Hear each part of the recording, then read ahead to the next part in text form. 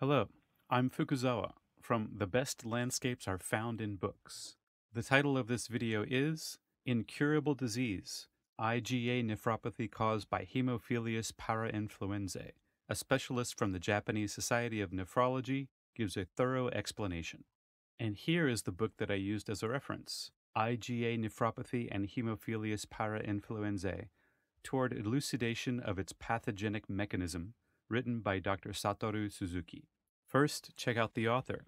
Dr. Suzuki is a practicing doctor and has been a counselor of the Japanese Society of Thrombosis and Hemostasis and the Japanese Society of Nephrology.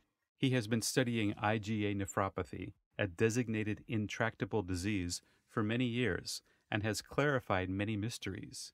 He has also received research grants from the Kurozumi Medical Research Foundation and medical research grants from the Japan Medical Association. IgA nephropathy is a chronic nephritis that causes inflammation of the glomerulus in the kidney, resulting in hematuria and proteinuria.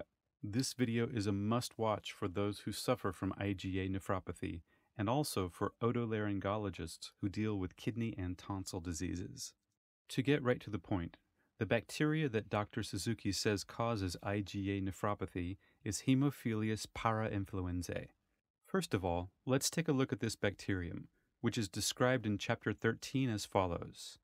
H. parainfluenzae belongs to the gram-negative rod family, and its morphology is polymorphic, depending on the environment, and the sites of presence include the oral cavity, throat, pharynx, upper gastrointestinal tract, urethra, and vagina. It is important to coincide with the site of clinical manifestation of acute onset of IgA nephropathy. He further states H. parainfluenzae is less pathogenic than H. influenzae, but is the most common Haemophilus infection. The main symptoms of H. parainfluenzae infection are pharyngitis, tonsillitis, and other upper respiratory and mucosal symptoms. The relationship between the two is somewhat clear now. Let's look at the details in the next chapter. Next is chapter 17. This is the story of an experiment on glomerular deposits. We examine the glomeruli of 44 cases of IgA nephropathy and 39 cases of other glomerular diseases using rabbit antibodies against the outer membrane antigen of H. parainfluenzae bacteria. Here are the results. Figure 9 shows glomerular IgA deposits using monoclonal anti-IgA1 antibody in biopsy renal tissue from patients with IgA nephropathy, showing coarse granular deposits of IgA1 mainly in the mesangial region. Figure 10 shows the findings of the fluorescence antibody method using rabbit anti-H parainfluenzae antibody in the same glomeruli of the same patient. The mode of glomerular deposits in IgA1 shown in Figure 9 and the mode of glomerular deposits of H. parainfluenzae outer membrane antigen were similar. Mm-hmm, it's true, I can see the deposits. This is a great discovery. Dr. Suzuki summarized the results as follows. The detection frequency of glomerular deposits is shown in Table 18. In all 44 of the patients with IgA nephropathy, H. parainfluenzae outer membrane antigen was detected in the glomeruli. On the other hand, 14 of 39 patients with other glomerular diseases showed glomerular deposits of IgA, and H. parainfluenzae outer membrane antigen was detected in two of them. Glomerular deposits of H. parainfluenzae outer membrane antigen was found to be significantly more frequent. To summarize, Haemophilus parainfluenzae is a possible cause of IgA nephropathy, and the reason for this is the presence of bacterial components in the renal glomeruli of patients. So that's it. Thanks to this discovery, it opened a crack in our understanding of the intractable disease IgA nephropathy. Next, let's look at the treatment. In chapter 36, it says, We focused on the relationship between H. parainfluenzae outer membrane antigen and tonsils to clarify the significance of tonsillectomy treatment in IgA nephropathy.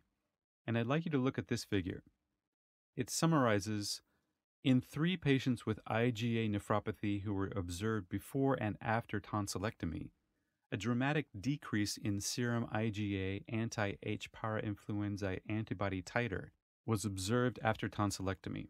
On the other hand, there was no change in IgG anti H parainfluenza antibody titer or IgM anti H parainfluenza antibody titer. So, the effect of tonsillectomy and nephropathy is either to reduce the amount of H. parainfluenzae outer membrane antigen or to reduce the amount of immune cells that respond to H. parainfluenzae outer membrane antigen, thereby reducing the amount of serum IgA type anti H parainfluenzae antibody parainfluenzae by reducing the amount of immune cells that respond to H. parainfluenzae outer membrane antigen. Doctor, is this correct? This is a really careful accumulation of research, isn't it? I'm really impressed. The experiment continues. In chapter 37, it is stated that since the effects of tonsillectomy alone on serum IgA, IgG, and IgM anti H parainfluenza antibody titers are clear, we thought we could clarify the differences in the effects of tonsillectomy plus steroid pulse therapy on serum IgA, IgG, and IgM anti H parainfluenza antibody titers.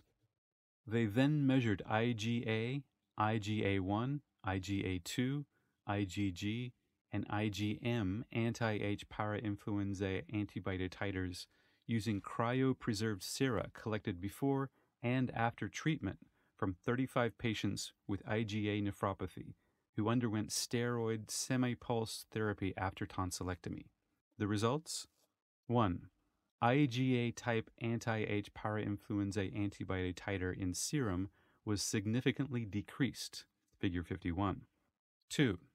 IgA1 type anti-H parainfluenza antibody titer in serum was significantly decreased, figure 52. 3. IgA 2 type anti H parainfluenza antibody titer in serum was not significantly decreased. Figure 53. 4. IgG type anti H parainfluenza antibody titer in serum was significantly decreased. Figure 54.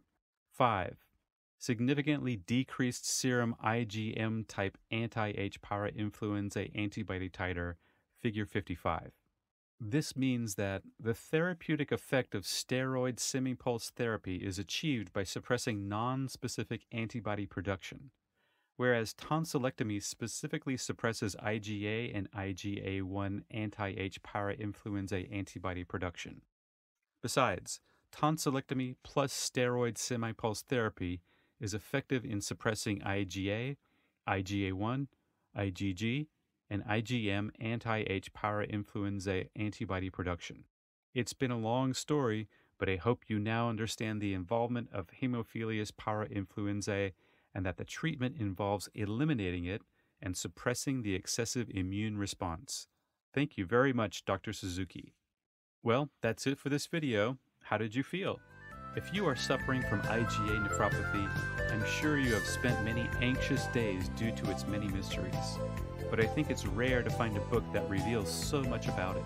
If you want to know more about it, Kindle Unlimited members can read the entire book, so it's a great deal. Please subscribe to my channel and rate the video highly so you don't miss my latest videos. Let's make the best view together. It was Fukuzawa from The Best Landscapes Are Found in Books. Thank you for listening.